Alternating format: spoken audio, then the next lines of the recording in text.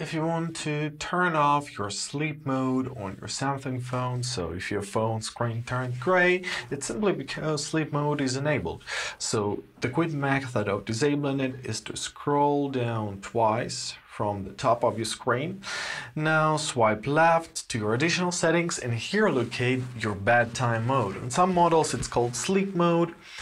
On some models it's called uh, bedtime mode. So to disable it, simply tap on the switch and your screen will gain your color once again.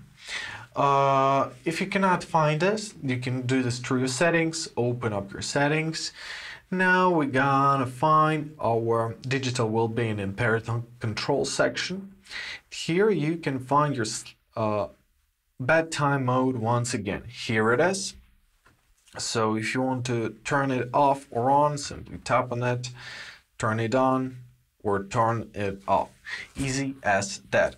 Also, you can set up an automatic sleep mode. So in this section, you can tap on the switch on turn on a schedule and you can set up days where you want to have it for example monday tuesday wednesday or thursday right Let, let's do this uh, set a schedule so it will start at 8 a.m. and finish at 7 a.m. right press done and basically that's it that's how it works I hope this video is helpful. Thank you so much for watching, have a great day and please consider subscribing to our channel.